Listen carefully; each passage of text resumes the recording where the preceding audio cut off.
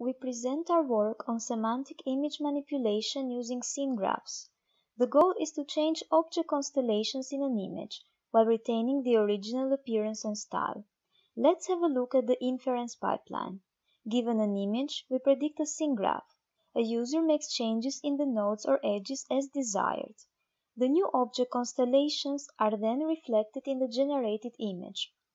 Compared to a semantic layout, scene graphs provide a lower effort user interface and can additionally support relationship changes. The method generalizes in diverse datasets different from single focused image editing works. Importantly, our training does not need image editing pairs with changes. A single generated model supports diverse semantic manipulation types, such as relationship changes, object replacements, and removal. Please visit us at CVPR and check out the project page for method details and results.